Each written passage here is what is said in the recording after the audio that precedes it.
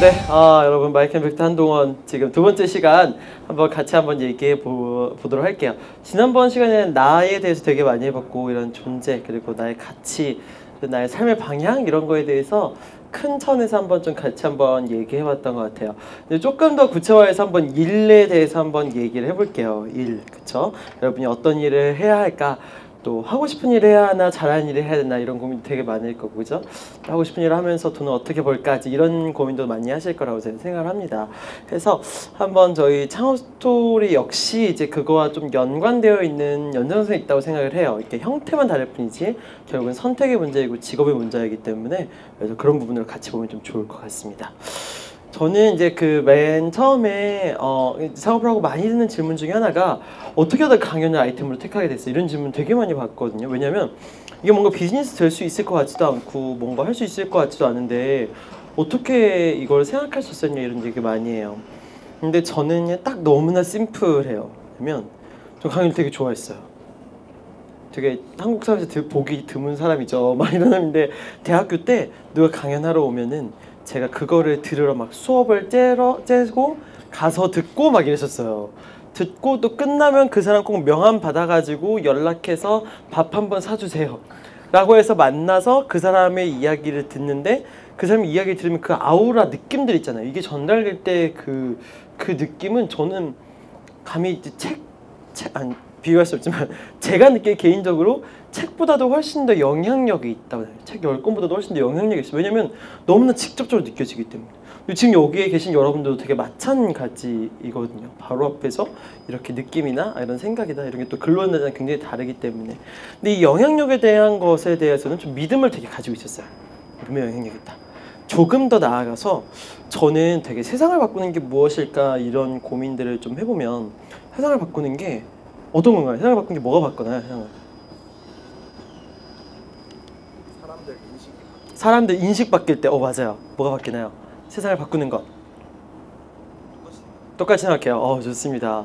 세상을 바꾼다고 생각하는 게 굉장히 많이 있을 거예요. 근데 저는 이렇게 세상을 바꾸는 인물 얘기할 때뭐 아, 자꾸 이게 실명 거론 이런 거 안 좋은데 이런 뭐 스티븐 잡스 막 이런 제가 감히 감히 제가 감히 스티븐 잡스 얘기를 하면 이런 얘기를 하면서 아, 이게 스티븐 잡스가 만든 기술이 정말로 나의 생활을 바꾼 거는 정말 맞고 생활을 바꾼 것도 맞는데 나를 바꾼다는 생각이 들더라고요. 나를 바꿨나? 나의 생각, 나의 가치관, 나의 미래, 나의 꿈, 나의 자존감 이런 걸 바꾸는 게 그런 건가 하는 생각이 들더라고요. 근데 반대로 그러면 나를 그런 걸 형성하게 한 것은 무엇인가라고 고민을 해보면은 오히려 막 할아버지가 막 저한테 야 동아 넌 뭐든지 할 사람이야. 큰 사람이 될 사람이야. 뭐 이런 거 있잖아요. 뭐 선배들이 막 지혜가 담긴 진짜 예정이 담긴 이런 한마디 조언. 이런 게 어찌 보면은 어 나를 되게 많이 바꾸는 거네. 이런 생각들을 되게 많이 하게 되더라고요. 근데 결국은 나를 바꾸는 것은 뭔가 거창하고 거대한 게 아니라 이런 한 사람의 말 지혜가 담긴 말, 애정이 담긴 말, 이런 경험들, 이런 것들이 어찌 보면 내 자신을 바꾸는 거고, 이런 게 모였을 때 결국은 세상이 바뀌어지는 게 아닐까라는 생각들을 많이 하게 됐어요. 근데 그래서 영향력에 대해서 더 확신을 가지게 됐죠. 좀 더 나아가서 그 반기문 유엔 사무총장님이 고등학생 때 미국에 처음 갔고, 케 대통령과 처음 만남을 가지고 난 후에 글로벌 리더의 꿈을 가지게 됐다고 하더라고요. 근데 그걸 보고 나서 와 이런 롤모델과의 만남이 이 사람의 삶을 되게 또 바꿀 수 있겠구나 이런 생각까지도 많이 하게 됐어요. 근데 굉장히 영향력 있는 컨텐츠다 이런 거에 대해서는 내적 확신이 있었죠. 좋아하는 것은 물론이었고. 근데 하지만 다른 한 축에서는 분명히 또 한계가 있었어요.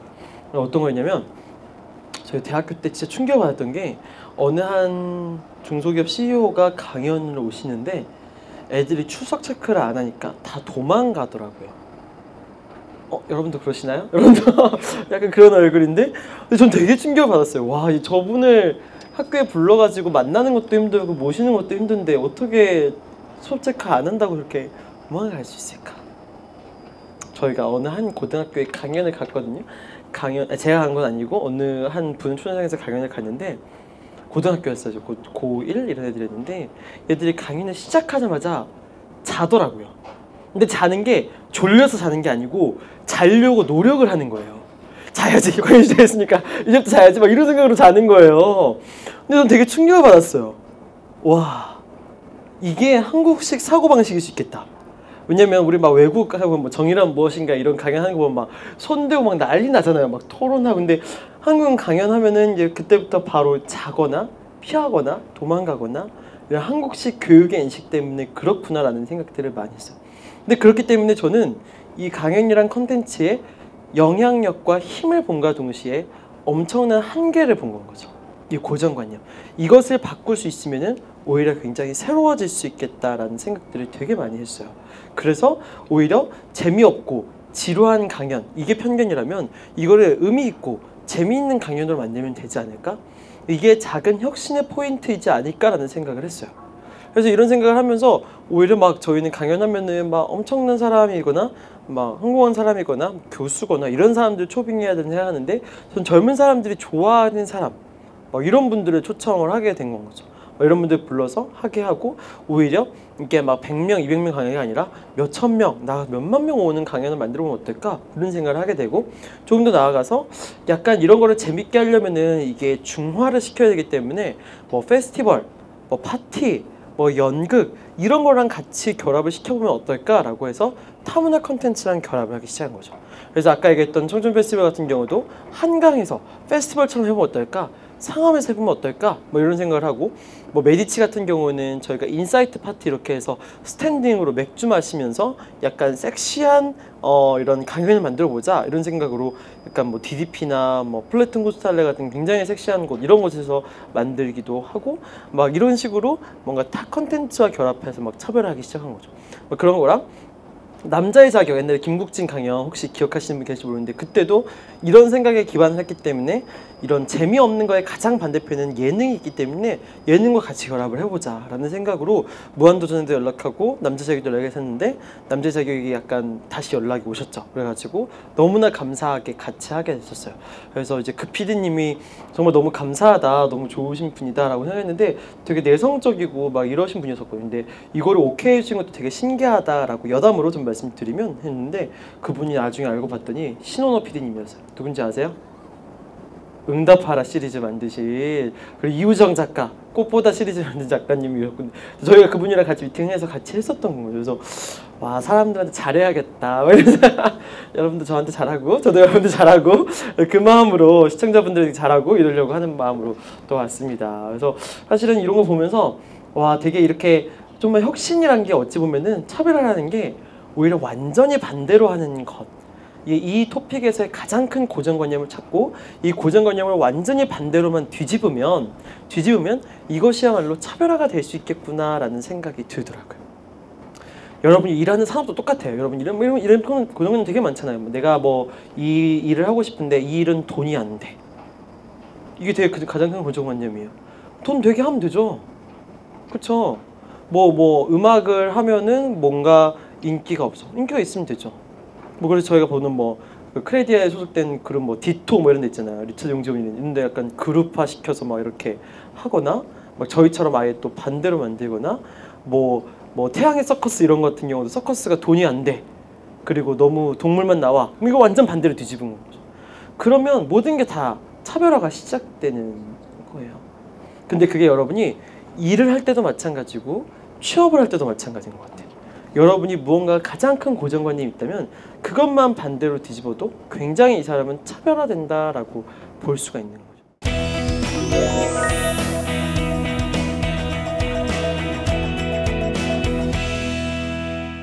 저는 그 컨설팅 회사에 지원할 때도 그랬었어요. 저는 컨설팅 회사가 굉장히 논리적이고 굉장히 숫자를 잘 보고 굉장히 막 이렇게 어그레시브 막 이래야 되거든요. 아 이래야 되는 건 아니지만 그냥 그런 식의 편견들이 있는데 저는 오히려 이런 감성적이고 또 이런 상상을 잘하고 이런 큰 그림을 그리는 운해가 발전됐기 때문에 어, 오히려 기업의 문제를 해결하는 데 도움이 될 수 있다. 이런 점으로 어필했던 거예요.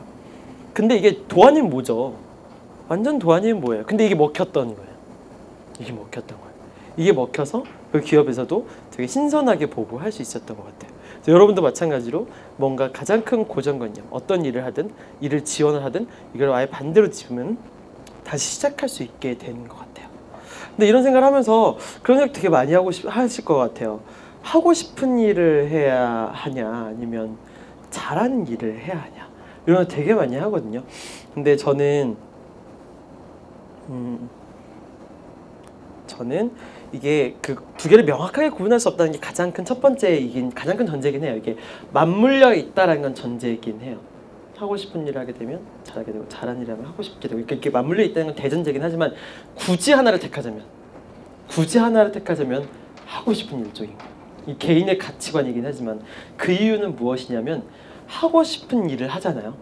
제가 회사를 다닐 때랑 지금 할 때랑 가장 큰 차이점이 무엇이냐면 회사를 다닐 때는 육체적으로 자유롭지 못했습니다.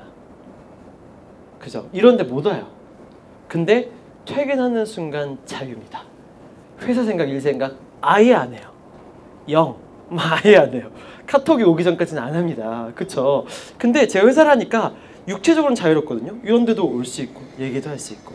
근데 정신적으로 꿈에 나와요. 꿈에. 그렇죠. 어디 여행 가 여행 가도 아 저거를 이렇게 적용하면 어떨까 이런 생각들을 막 하고 있는 거예요. 정신적으로 자유롭지 못하다. 이 말은 또 다른 말로 정신적으로 몰입되어 있다라는 얘기거든요. 근데 저는 일이라는 게 이렇게 생각해요. 자기가 진짜 지금 이 시간에 이 일을 해야지 하고 하는 것만 일이 아니라 정신적으로 일을 하는 순간도 일이라고 생각을 하거든요. 근데 365일 24시간 일하는 사람은 당해낼 수가 없는 거예요. 365일 이상을 일한다는 것은 머릿속에서도 계속 일을 하고 있는 거죠. 이 사람을 봐도 여러분을 봐도 아 저 사람은 마이크임팩트에서 일하면 어떨까 이런 생각을 저는 지금 은연 중에 하고 있는 거예요. 보면서도 아 저 사람 attitude 어떨까 이런 생각 제가 하고 있는 거거든요. 이 계속 생각을 하고 있는 거고 그 사람은 절대 이길 수가 없어요.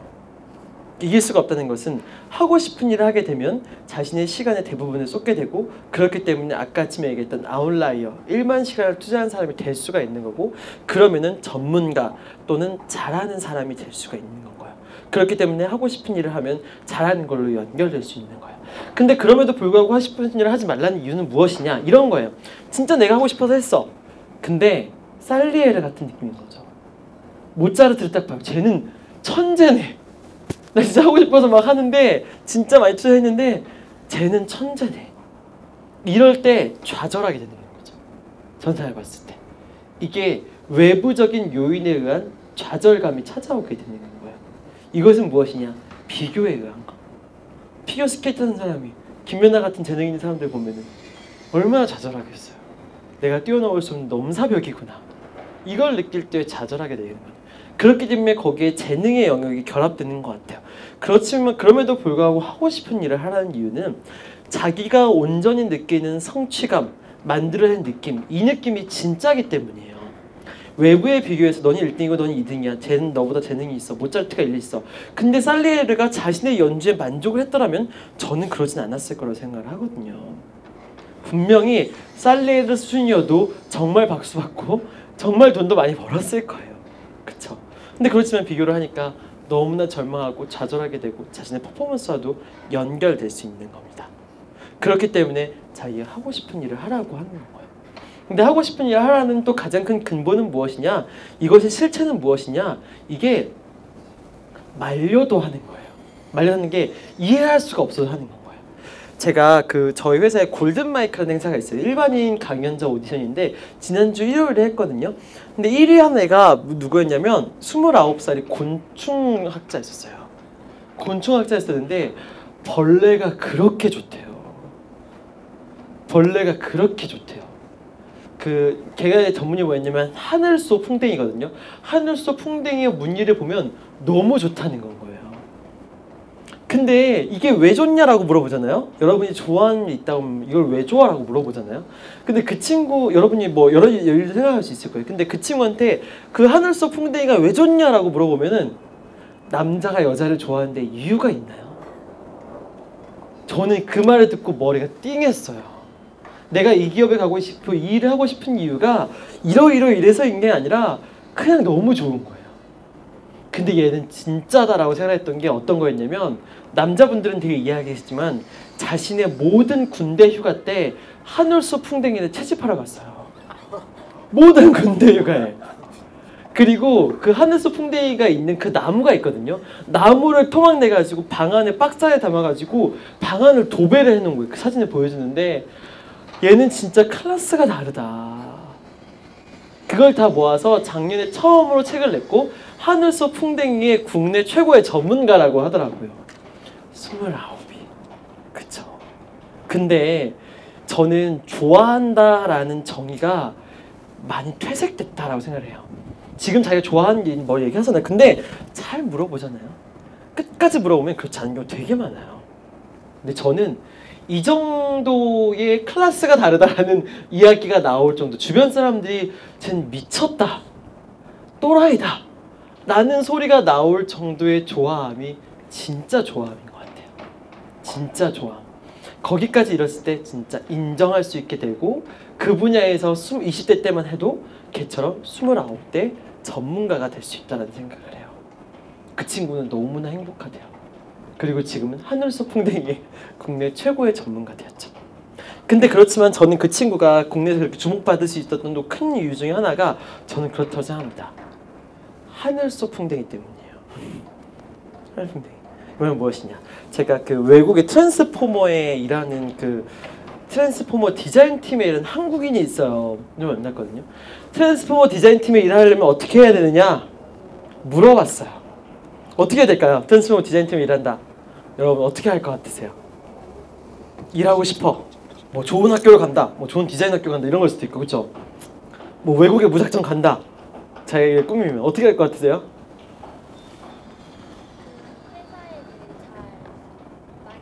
회사에 대해 대해서 많이 알아보고. 오 그쵸. 그 취직하기 위해서 잘하기 위해서. 맞아요. 그래서 그런 방법들이 있죠. 근데 그분이 얘기하신 거를 딱 듣고 와 진짜 머리가 띵했는데 그분이 말씀하신 게 로봇 손을 세상에서 가장 잘 그린 사람이 누구냐는데요. 로봇 손 로봇 중에 손이 제일 그리기가 어렵대요. 제일 디자인하고 그래픽 작업하기 되게 어렵대요. 왜냐면 관절의 움직임이기 때문에 이게 굉장히 난이도가 높은 거라고 하더라고요. 근데 로봇을 잘 그리는 과나 디자인은 진짜 많대요. 이런 건 되게 많고 그런 과는 이제 잘 하면 할 수 있고 그렇긴 한데 그 로봇을 잘하는 디자인 과나 뭐 유명한 학교 뭐 그런 것도 많은데 로봇 손을 되게 잘 그리면은 로봇 팔을 만드는 팀에서 얘를 어떻게 어떻게 알게 되는 거죠. 로봇 손을 잡아서 의뢰를 하게 되고 로봇 팔을 잘 그리면 로봇 잘 제일 잘하는 세계 팀에서 제일 잘하게 되고 섭외하게 되고 이렇게 되는 거예요. 다시 저를 물어보면 아까 걔를 사에 들어오면은 걔가 곤충 전문가다 이러면은 사실 많죠. 한국에 유명한 곤충학자 얼마나 많아요. 그쵸 얼마나 많아요. 근데 걔는 하늘소 풍뎅이에 꽂혔던 거죠. 그것만 전문으로 하니까 국내 하늘소 풍뎅이 최고 전문가 이승현 끝 이거 끝 뭐라고 얘기하겠어요. 저희도 마찬가지예요. 저희 맨 처음 시작했을 때 4명, 5명일 때 여러분 열정낙서라는 거 아세요? 들어보셨나요? 대학생들 옛날에 대학교 때 대학교 돌면서 했던 삼성에서 했던 프로그램이. 근데 저희 네 사람일 때 삼성그룹에 찾아와가지고 같이 하자고 한 거예요. 되게 이해할 수가 없잖아요. 저희 이렇게 뭐 네 명 진짜 시작한 지 별로 안 되고 지금 생각해 보니까 근데 막 그렇게 되면 뭐 비딩하고 뭐 PT하고 막 난리 나야 되거든요. 저희를 바로 하게 된 거예요. 나중에 물어봤죠. 어떻게 저희 같이 아마 아, 시작 이제 막 시작했던 그 아마추어한테 의뢰를 하고 같이 할 수 있었냐? 근데 그분이 한 말이 only one이었다는 거죠. only one and first one이었다는 거예요. 그렇기 때문에 당연하게 찾아올 수 없다는 거예요. 그렇기 때문에 이게 그런 생각이 많아요. 이렇게 컨텐츠 산업, 교육 산업 이렇게 얘기하면 너무나 레드오션인 거예요. 근데 이 중에 강연이라는 걸 딱 잡으니까 이게 또다시 블루오션으로 시작하게 되었었고 그렇기 때문에 모든 게 다 저희에게 돌아오기 시작한 거죠. 여러분이 하고 싶은 일이나 무언가 하고 싶은 분야가 있으면 그 중에 딱 한 분야를 잡는 게 진짜 중요해요. 니치한 분야. 그쵸. 근데 이 분야의 전문가성을 가지고 여러분이 어느 기업에 취직을 하거나 취업 면접을 가거나 어느 사람에 들어갈 때도 이 분야는 난 진짜 최고다. 이런 얘기를 할 수 있으면 취직은 당연하게 물론이고 여러분이 저는 감히 먹고 사는데 지장은 절대 없을 거라고 생각을 해요. 그래서 이런 식으로 좀 경쟁력을 갖춰가는 것 이런 것들이 정말 정말 중요한 것 같아요. 중요한. 자 그러면 이걸 하면서 이 분야의 전문성까지 어떻게 만들까 이런 얘기를 했는데 자 어떻게 돈을 벌 것이냐 이런 생각 어떻게 돈을 벌 것이냐 이런 생각들을 되게 많이 하게 될 거예요. 어떻게 돈을 벌 것이냐. 근데 저는 그 컨설팅을 했으면서도 불구하고 되게 부끄러운 것은 비즈니스적 사고가 없었다라고 되게 생각을 많이 해요. 라는 생각을 하는 것은 무언가가 뭔가 가치에 대해서 저희가 청구를 하거나 돈을 내- 내라고 할 때 약간 어 이게 별거 아닌 것 같으니까 뭐 안 받으려고 하거나 뭔가 되게 제 자신을 폄하하거나 이런 경우가 생기더라고요. 그러니까 뭔가 이렇게 다시 맞물리게 되고 더 뭔가 뭐 비즈니스로 이어지기 힘들게 되고 이런 경우가 생기는 건 거예요. 많은 벤처 기업이 또 범하는 우중의 하나인 거거든요. 자기 자신에 대해서 되게 프라이드를 갖는 게 되게 중요하고 그게 가치로 했을 때 이것을 현금 가치로 돈의 가치로 환원시키는 것은 한 번도 안 해봤을 거예요. 근데 여러분이 여러분의 능력을 돈으로 환원시킨다면 얼마가 될 수 있느냐? 이것이 사실은 비즈니스 사고의 처음 시작인 거예요. 처음 시작. 내가 이 능력을 돈으로 환원시킨다면 얼마짜리냐? 이런 생각을 하는 거죠. 이게 희소성이 높으면은 굉장히 단가가 올라갈 거고 희소성이 낮으면은 굉장히 단가가 낮아지겠죠. 이걸 돈으로 환원하는 거. 이거. 이게 첫 번째 비즈니스 사고고 두 번째 비즈니스 사고는 이건 거예요. 복제 가능하냐? 확장 가능하냐? 여러분이 여러분이 일해서 벌고 하는 것은 되게 한계가 있거든요. 근데 여러분이 하면서도 이게 조금 창업을 하지 않았기 때문에 조금 어렵거나 생소하거나 현실성이 없는 사고일 수도 있겠지만 여러분이 여러분의 인력을 투입해서 무언가를 만드는 것도 중요하지만 여러분의 인력을 투입해서 무언가 생산하는 게 아니라 여러분의 인력을 투입해서 무언가 비즈니스 가치를 생산할 수 있는 시스템을 만드는 게 목적이 되어야 되는 거예요. 여러분이 일한 대로만큼 돈 번다 이러면은 계속 힘들어지는 거예요. 계속 힘들어지는 거. 그래서 그 많은 자영업이 그런 구조죠. 자영업이 자기가 일해야만 돈을 벌 수 있는 구조이기 때문에 계속 일을 해야 되고 노동력을 투여해야 되기 때문에 계속 이게 성장하거나 지속 가능하지가 않은 건 거예요. 그렇기 때문에 여러분이 만약에 작은 일을 하더라도 여러분 젊기 때문에 이런 뭔가 지속 가능하고 복제 가능하고 확장 가능한 비즈니스 구조에 대해 생각할 수 있어야 되는 거예요. 저희는 그 생각이 전혀 없어 처음에 그냥 막 했던 거니까. 근데 이런 구조를 생각하게 되면 앞으로 확장할 수 있는 여지가 되게 많아질 수 있는 부분들이 있는 것 같아요. 세 번째는 저는 아무리 레드오션이라고 해도 탑 10%는 정말 엄청나게 많은 부를 누릴 수 있다고 저는 생각을 하거든요. 그러니까 아무리 돈을 못 버는 직종이라 할지라도 근데 물론 이거는 굉장히 위험할 수 있어요. 왜냐면 많은 사람들이 연예인을 꿈꾸는 것도 뭐 탑 몇 명의 연예인을 보고 꿈꾸는 거지만 제가 이야기하는 것은 탑 몇 명의 연예인이 되라는 것보다 산업의 구조가 그렇다는 거예요. 아무리 돈을 못 버는 산업에 들어간다고 하더라도 탑 몇 퍼센트는 분명히 많은 부를 누릴 수가 있어요. 많은 돈을 벌 수가 있거든요. 그래서 그 산업에 본인이 있던 산업에 들어가는 순간 탑 몇 퍼센트는 해야겠다라는 각오가 있어야 돼요. 그 각오가 각오가 있어서 그 안에서 이만큼 해내겠다. 아니면은 제가 했던 것처럼 하나의 산업을 만들어내는 건 거죠. 자기가 만들어낸 산업 창출해내는 것 이렇게 되면 되는 거예요. 그 아까 그런 사이에서 보면은 저희가 하게 되니까 토크 콘서트나 강연이 만들어지게 되니까 점점 점점 많아지는 거예요. 이런 강연이나 이런 문화나 이런 생각들이 점점 점점 많아지는 것을 보면서 와 이게 이 문화에 대한 혜택은 당연히 저희한테 돌아올 수밖에 없죠. 많아지면 많을수록 저희한테 의뢰를 하는 거예요. 계속 전화 오고 계속 같이 하자 그러고 이런 얘기 들어보니까 당연히 이 산업이 커지면 커질수록 저희한테 돌아오게 되는 거죠. 근데 이렇게 계속 하게 되니까 제가 어, 회사가 당연히 성장하게 되고 어느 순간 보니까 저희 회사 캘린더 보니까 한 달에 거의 한 200개에서 300개의 강연을 진행하고 있더라고요. 근데 이런 것도 와 이게 이어지니까 여기까지 오게 되었구나 자연스럽게 이어지게 되었구나 이런 생각들이 되게 들게 되더라고요. 그래서 저희가 하게 되면 막 그런 생각 되게 많이 하거든요. 최종적으로 이 비즈니스의 최종적인 상태는 이런 상태인 거예요. 이게 무언가를 본인이 막 하려고 하는 이런 상태가 아니라 그냥 일부에서 얘기했던 것처럼 스스로 존재하는 상태. 저희가 이거를 표현하고 만들고 싶다라고 막 하다 보면 자연스럽게 돈이 따라오는 상태. 저희의 그 올라오면서 슬로건 보셨겠지만 재미있고 의미인이라면 기적이 따라온다 이런 게 있거든요. 재미있고 의미인이라면 돈이 따라온다. 이게 저희의 진짜 믿음이고 진짜 비즈니스 모델인 것 같아요. 그렇게 할 때만이 돈의 노예가 되지 않고 계속 선순환 구조를 만들 수가 있는 거죠. 저희도 그렇게 만들어 가려고 계속 하고 있어요. 이런 일들을 하고 돈이 따라오게 하고 돈을 통해서 더 재미있고 일하고 이런 구조를 만들 때 될 수 있는 것 같아요.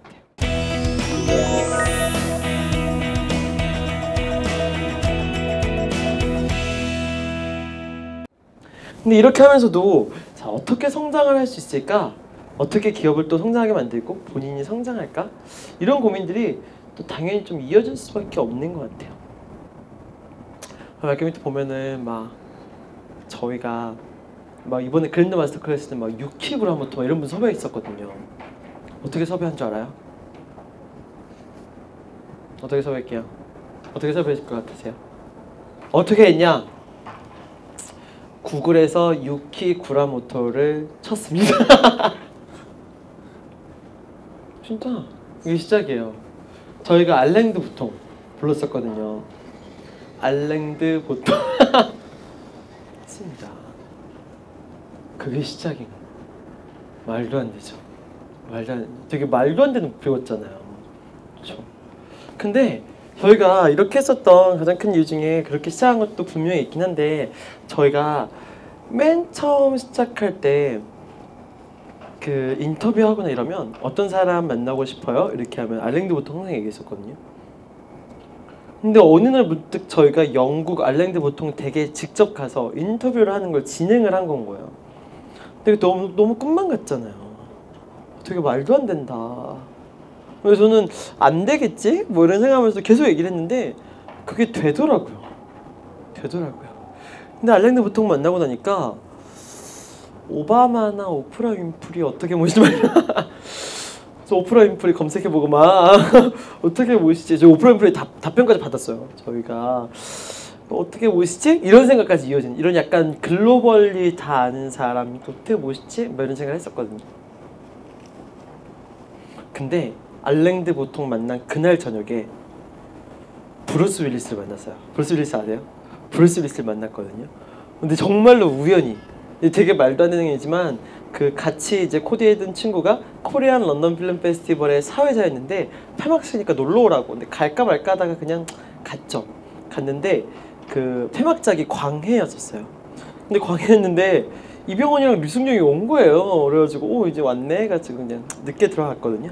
근데 갔는데 옆에 외국인들이 막 있더라고요. 근데 오 이제 외국인들 인기가 많구나. 이제 한국 영화 진짜 인기 많다. 막 그랬는데 영화 끝나고 이제 이병헌과 류승룡이 나와서 이제 무대 타임을 가지는데 외국인들이 나가는 거예요.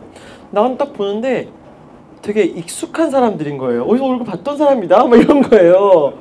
근데 되게 말도 안 되잖아요. 근데 지나가 보니까 막 브루스 윌리스, 캐서린 제타 존스, 존 말코비치 이런 사람이 쭉 지나가는 거예요. 그래서 어 되게 오해 받으면 이제 그걸 그래서 정말 누군지도 모르는데 뛰쳐나갔죠. 나가니까 그런 사람들인 거예요. 그래서 브루스 윌리스 인사하고 진짜 big fan이다. 사진 찍자고 사진 찍어가지고 막 같이 올려고 이랬었거든요.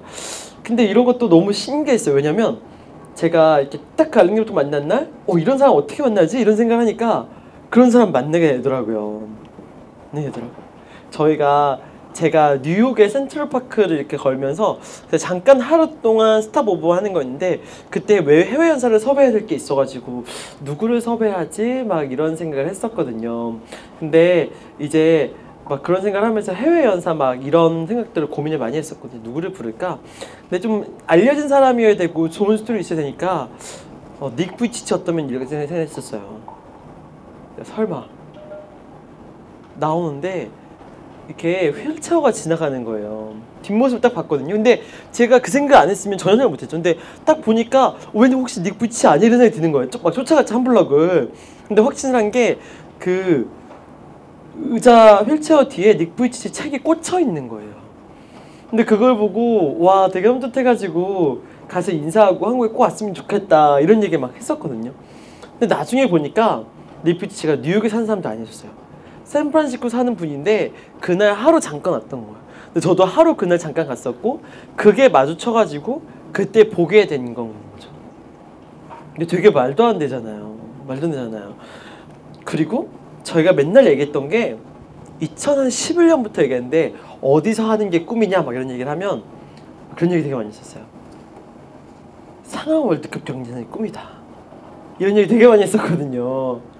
안 될 리가 없잖아요. 근데 계속 얘기했죠. 근데 좀 순복음 교회 집회 이후로 한 번도 이렇게 많이 채운 적이 없다는 그 얘기하는데 한번 채워보자 막 이런 생각을 해가지고 제일 큰 곳이니까 상징적으로 해보자라는 생각했죠.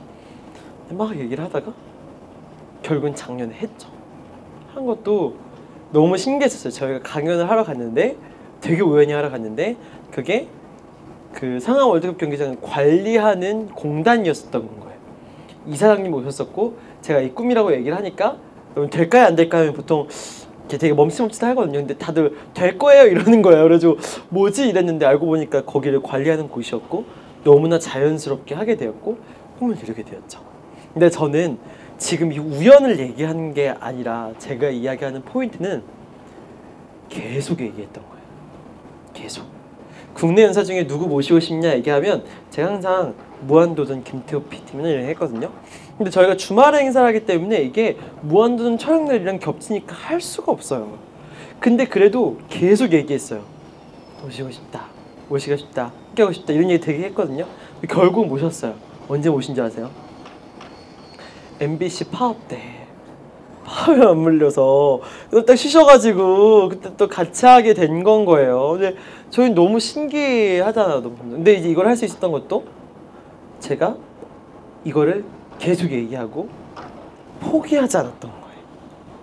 계속 계속 계속 계속 얘기하니까 시간의 차이지 제가 원하는 타이밍에는 안 일어날지 몰라도 언젠가는 일어나더라고요.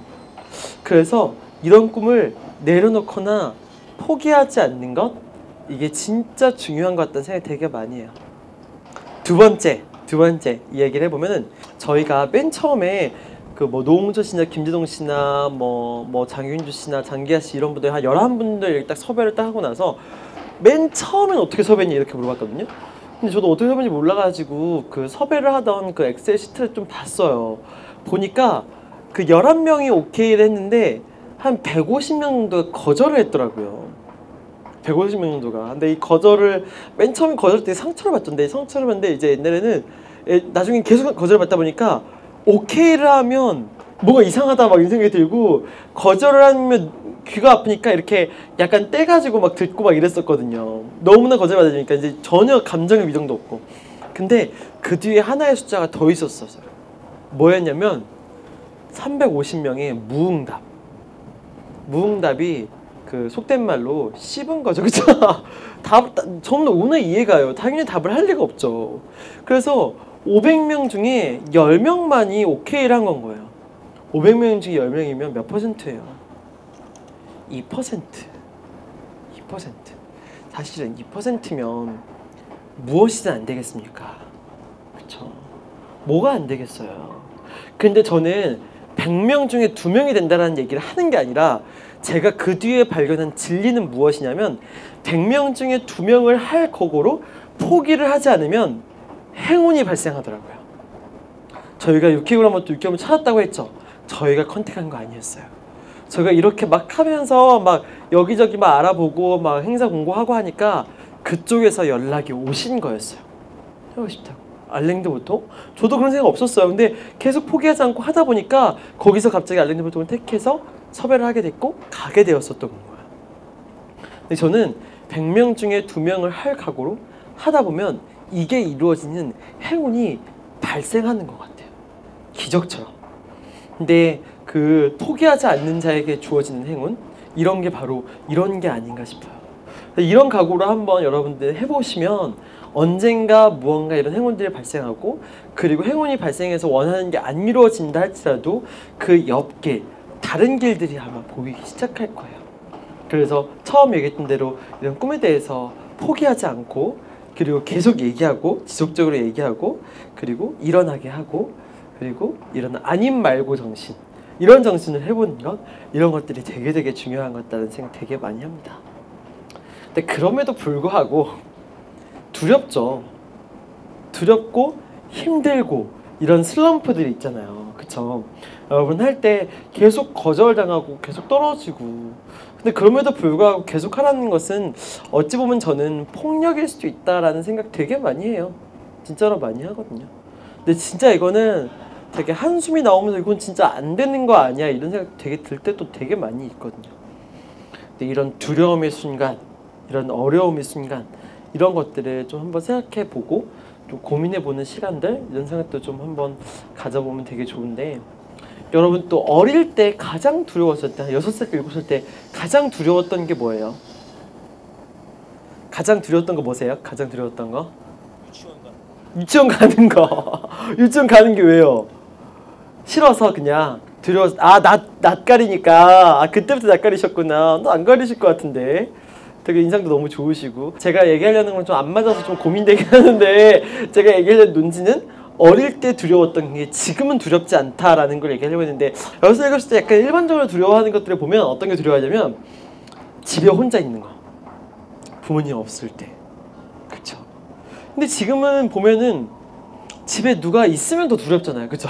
왜 누가 없어야 더 안 두렵고 누가 있으면 더 두렵고 막 이런 거 되게 많고 어릴 때 두려운 거 보면 뭐 지금 두려워하지만 주사 맞을 때 또는 놀이기구 높은 걸 떨어질 때 있잖아요 근데 이거를 왜 두려워하지 이런 걸 자세히 자세히 한번 쳐다보면 되게 많은 것 같아요 저는 주사 맞는 순간에 왜 두렵지 이런 거 보면 전날부터 두려워하는데 이 주사 바늘이 몸을 통과하는 그 0.01초의 순간이 아픈 거거든요.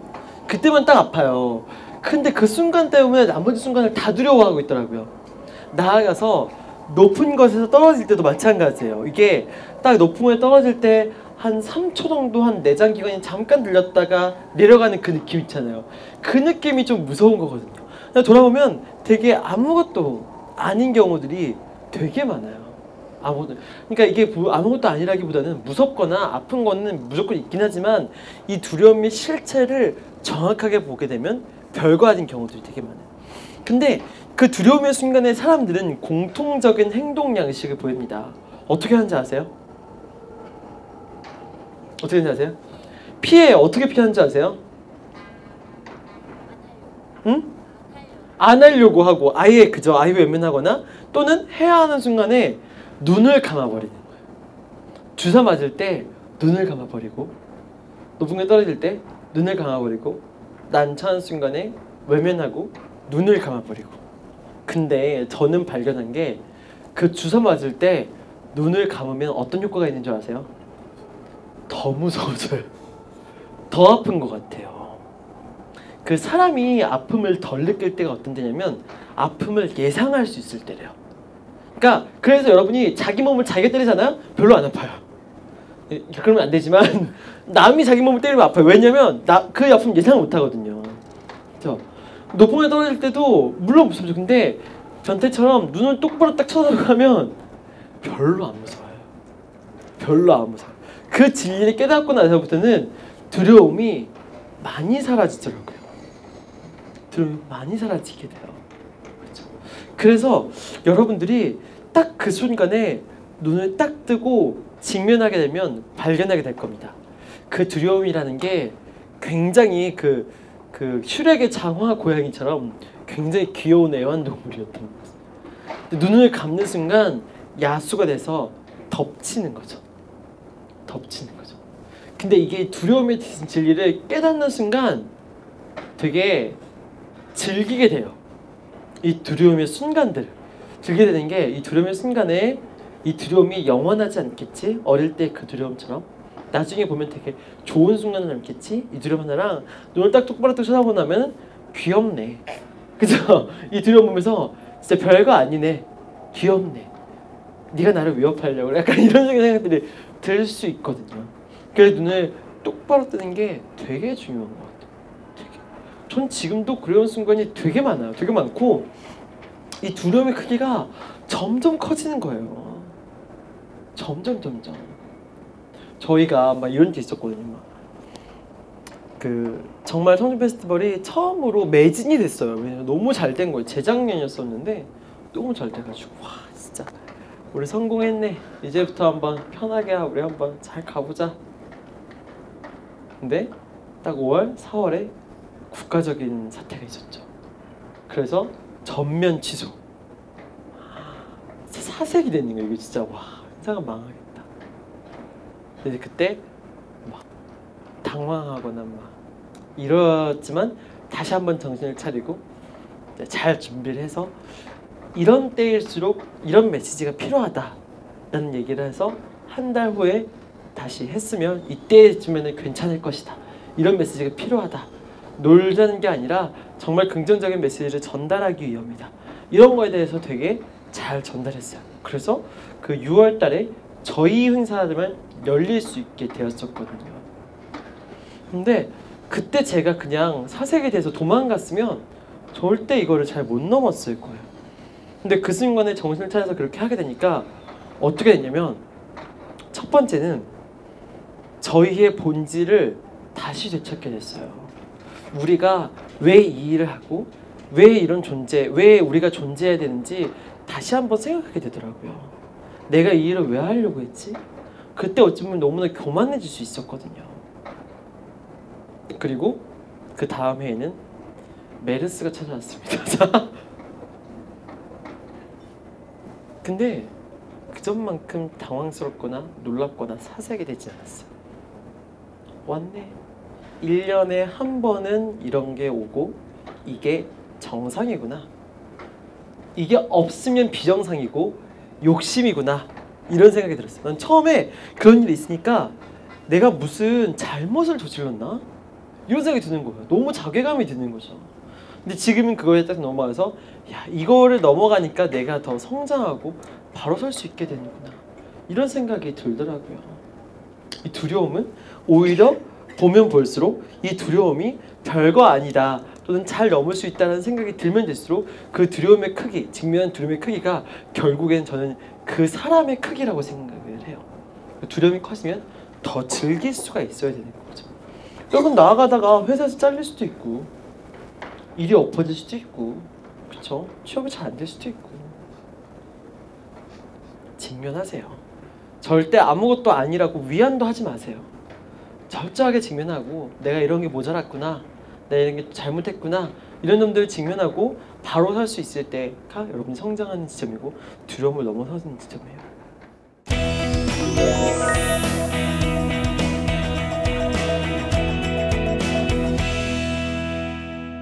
그럼에도 불구하고 슬럼프는 있죠. 두려움과 슬럼프는 좀 다른 이야기인 것 같거든요. 슬럼프는 약간 번아웃. 저는 이제 하면서 이게 약간 열정을 너무 쏟다 보니까 아 이게 힘이 빠질 때가 분명히 있어요. 이게 뭔가 뭔가 속이 다 빈 것 같아. 이게 막 어, 삼계탕 먹어도 회복이 안 되고 막 영양제 먹어도 회복이 안 되는 그런 빈 느낌이 있어요. 이런 느낌들, 이런 느낌들이 있거든요. 슬럼프 이런 게 분명히 있고 이게 보면서 와 저도 되게 청춘 때는 진짜 막 지금 청춘이지만 진짜 그냥 밤새고 막 이런 거에 좀 했다면 이제는 좀 지속 가능한 열정이 되게 중요하다라는 깨달음 이게 하나가 있고 또 한 축에는 이 슬럼프를 명확하게 보다 보니까 이게 저는 바이오리듬 같더라고요 바이오리듬. 올라갔다 내려갔다 올라갔다 내려갔다가 있는 건 거예요 이 올라갔다 내려갔다에 숨어 있는 이 바이오리듬의 진리는 무엇이냐면 올라가잖아요. 그럼 무조건 내려가게 돼 있어요. 내려가잖아요. 그러면 무조건 올라가게 돼 있어요. 그래서 여러분 그 사람들이 박수 칠 때 떠나라. 박수 칠 때 그 주식을 팔아라. 주식이 오를 때 팔아라. 내려갈 때 살아라고 하는 이유도 그런 이유 때문입니다. 근데 사람은 대중과 완전 반대거든요. 근데 이 욕망의 흐름만 읽어낼 수 있어도 정말로 대성공을 할 수 있겠다는 생각 되게 많이 하거든요. 근데 사람이 잘 못해요, 진짜. 그런 건 진짜 이게 잘 된다면 다 쫓아가고. 근데 그 반대로 할수 있어야 되는데.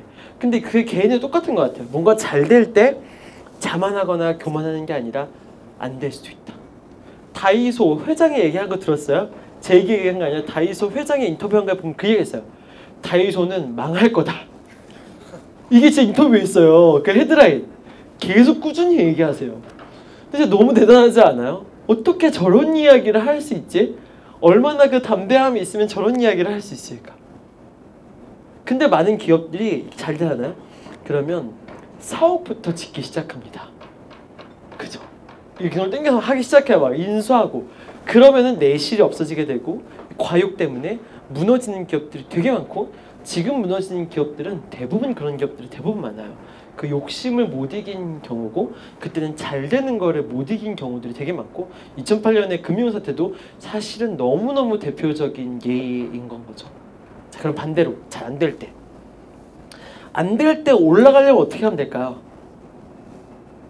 안 될 때 어떻게 하면 될까? 처음부터 다시 시작해서 오 맞아요. 처음 다시 시작해서 올라가려고 하면 되죠. 어떻게 하면 될까요?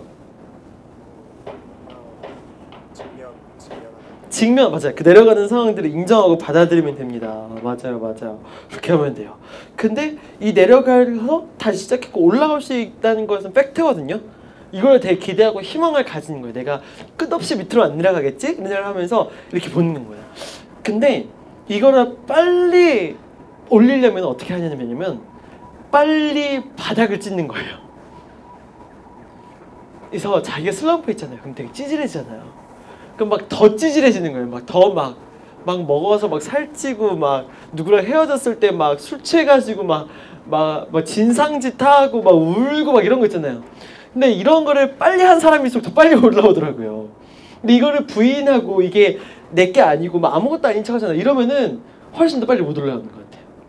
오히려 무언가가 어려워지거나 힘들어지거나 이럴 때 이걸 딱 직면하고 인정하고 오히려 이 상황에서 더 공유를 하고 나는 되게 찌질하다. 나는 이때 되게 실패했다. 이런 거를 명확하게 인지했을 때 다시 올라갈 수 있는 힘이 생기고 더 빨리 올라갈 수 있게 되는 거예요. 더 빨리. 그렇죠? 저는 이거를 더 명확히 느끼는 이유는 무엇이냐면 이런 명사들을 초대하는 역할을 하기 때문이에요. 사람들은 지금 되게 핫한 사람들만 봐요. 지금 가장 인기 있는 스타들만 보죠. 근데 저희 너무 웃긴 게 몇 개월 전만 해도 다른 사람이 가장 핫한 스타였고 그 사람을 섭외하려고 했거든요. 몇 개월 지나니까 바뀌더라고요. 지금 가장 뜬 사람도 저희가 보기에는 몇 개월 안 갈 거라고 보는 거죠. 그렇죠? 근데 그게 저는 자연의 섭리라고 생각을 해요. 개인의 인생에도 마찬가지인 건 거예요. 나는 왜 이렇지? 나는 왜 계속 안 되지? 이런 생각을 하지만 그런 인생은 저는 없다라고 생각을 해요. 내려가는 길이 있으면 반드시 올라가는 길이 있고 올라가는 길이 있으면 반드시 내려가는 길이 있다고 저는 생각을 합니다. 이거에 대해서 온전히 받아들일 때 삶에 대해서 희망이 생기고 삶에 대한 겸손함이 저는 생긴다고 생각을 해요. 근데 이것에 대해서 많이 인지하지 못하기 때문에 이 현상이나 이 현실이나 이 사실에 대해서 온전하게 받아들임이 없기 때문에 취업을 할 때 너무 힘든 거예요. 왜냐면 떨어질 확률이 더 높은 게임이거든요. 근데 계속 떨어지니까 계속 힘든 거죠, 그냥. 힘들다고 생각하고 나는 안 되는 사람이 생각하니까 안 되는 거예요, 계속. 그리고 힘든 가장 큰 원인이 뭔지 아세요? 옆에가 되기 때문이에요. 가장 큰 원인이 옆에가 되기 때문이에요. 그게 아니라 옆에가 되는 것은 아무 상관이 없고 내가 이 기업을 진짜 원했고 내가 이 능력을 갖추었다면 내가 무엇이 모자랐는지 바로 볼 수 있을 때 그때만이 바로 설 수 있거든요. 그래서 그런 흐름들을 볼 수 있을 때만이 바로 설 수 있는 것 같아요. 바로 온전한 하나의 주체로 설 수 있고 이 많은 취업난과 이 많은 어려운 상황에서도 희망을 가질 수 있는 그런 건가요? 절망과 희망을 다 받아들일 수 있을 때 삶이 온전히 편하게 됩니다. 가장 힘들 때 가장 힘이 되는 말은 이 또한 지나가리라요. 이 또한 지나가리라. 가장 빛나는 순간도 가장 어려운 순간도 결국은 지나갈 거예요. 지금 여러분 약간 덥나 춥나 지나갈 거예요. 시작할 때 약간 추웠죠. 다시 더워졌죠. 더워지나요? 추워져요. 그렇지만 사람은 동물이기 때문에 더울 때는 추울 때 기억 못하고 추울 때는 더울 때를 기억을 못하는 거예요. 이것만 기억하면 여러분의 나머지 삶을 살아가는데도 굉장히 즐겁게 살아갈 수 있어요. 그리고 즐기게 됩니다. 제가 명함에 보면 만화 원피스의 루피가 제 회사에서의 별명이거든요. 이 별명인데 이게 그 루피의 스토리가 더 재미있으려면 더 흥미진진하려면 어떻게 하면 되는 줄 아세요? 모험이 많이 있어야 돼요. 모험이란 게 뭐냐면 죽을 뻔한 경험들이 많아야 돼요. 더 강한 적을 만나고 뭐 배가 엎어지고 이거는 이제 죽어 마땅한 상황들이 몇 번 발생하고 이게 더 세져야 더 큰 모험인 건 거예요. 더 큰 모험. 그렇죠.